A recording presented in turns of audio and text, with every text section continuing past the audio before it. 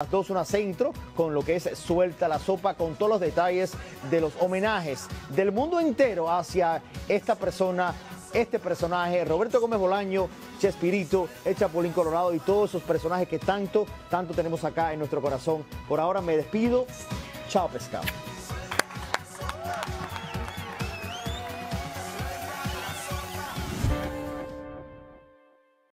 Este lunes, en Suelta la Sopa.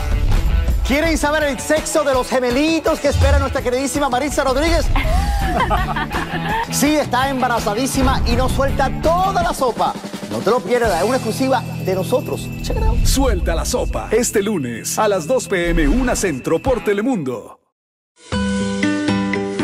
Entonces ella apareció cuando, cuando tenía el niño about de 3 a 4 años. Nosotros vivimos.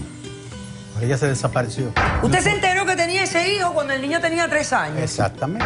Pero es algo raro querer darle algo de sus propiedades a un hijo que no aparece.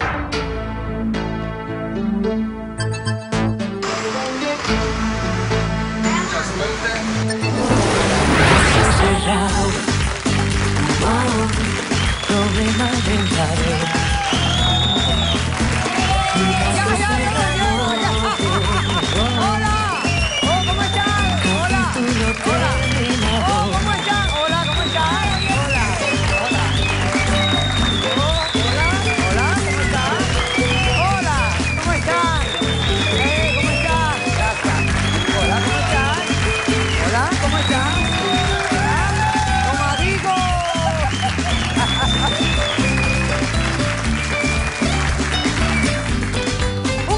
saludo. Yo soy la doctora Ana María Polo y esto es Caso Cerrado. Vamos a darle la bienvenida al primer caso del día de hoy. Señor director, por favor, que pasen los litigantes.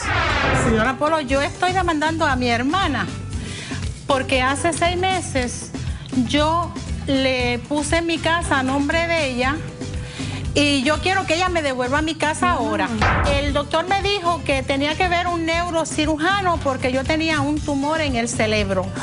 Y él me dijo, bueno, los riesgos son que te puedes morir en la operación porque la operación es bien peligrosa. Te puedes quedar ciega y sin, y, y sin voz y Ah. con el lado derecho muerto. Ay, Dios mío. Me dijo, y, el- y la tercera es que te puedes quedar completamente. Pues como Imagínate. quiera me voy a morir.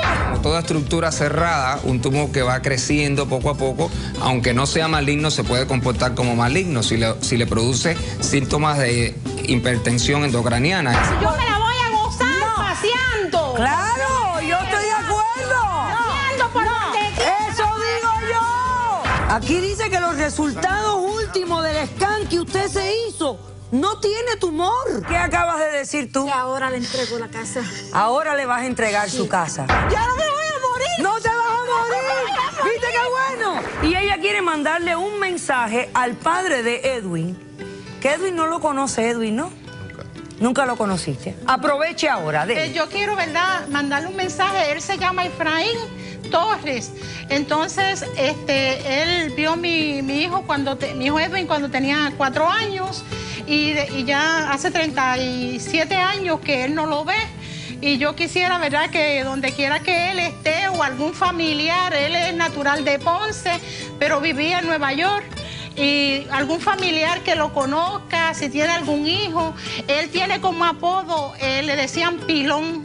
Así que, don Pilón, donde quiera que usted esté, por favor, si ve este capítulo de caso cerrado, escríbanos por favor o llámenos y nosotros lo pondremos en contacto. Doctora, yo necesito que me ayuden porque mi papá no está bien para tomar decisiones. Doctora, mi padre lo único que quiere es encontrar a su hijo para que todos seamos iguales. Cuando la vida te presenta razones para llorar, demuéstrale que tienes muchas para reír. Anónimo. Buenas tardes. Buenas, Buenas tardes. ¿Cómo están? Bien. Qué bueno. Yo estoy un poco confundida, les tengo que ser muy honesta. Eh, pero bueno, vamos a ver. Efraín, tú eres el demandante en este caso. Explícame a quién estás demandando, por qué la demandas y qué pides para resolver este caso. Vengo a demandar a mi hermana Esa es tu hermana. A mi hermana. Ok, ¿por qué la demandas? Porque yo quiero que ella esté conmigo en las decisiones que mi papá no está bien.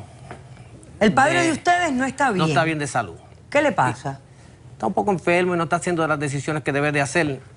So, yo quiero coger, tener el poder para poder hacer las decisiones por Ok, él. tú lo que quieres es declararlo incompetente para ustedes ser el guardián, los guardianes de él y poder tomar las decisiones sobre su vida porque él no está tomando buenas decisiones. Es correcto. A ver, dame el ejemplo de las decisiones que no toma que, están, que no están bien. Ok.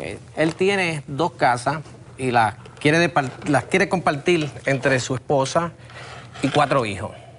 Nosotros somos tres hijos. Hay un hermano que anda perdido, hace 35 años que lo andamos buscando, pero nada, no encontramos nada, periódico, detectives Y el problema es que tu papá quiere hacer una división de su patrimonio, de sus bienes, entre cuatro hijos. Ustedes que son tres y ese perdido que no se sabe dónde está. ¿Y a ti te parece que eso es una mala decisión? Eh, mala en el sentido porque llevamos 35 años buscándolo y nunca lo hemos encontrado. And we'll find him. Lo encontramos. Leo, ¿Qué 35 esfuerzo han años. hecho? A ver, cuénteme esto. ¿Qué esfuerzo han hecho ustedes para tratar de, de encontrar a esta persona? Hemos detectives privados, periódicos, Internet. internet. Sí. Lo buscamos, llamamos, ponemos el nombre de él en la computadora, lo que sabemos. Y, nada, no Nada. encuentran absolutamente nada. Absolutamente nada. Ok, ¿cómo es tu posición en este caso? ¿Qué piensas de lo que dice tu hermano? ¿Cómo respondes? Bueno, yo estoy en contra de lo que él quiere ser. Ok, ¿por qué? ¿Tu papá tú piensas que está bien? Seguro que sí, papi está muy bien. Mi papá es un señor bien fuerte, trabajador, y yo no veo que mi papá tiene algo mental.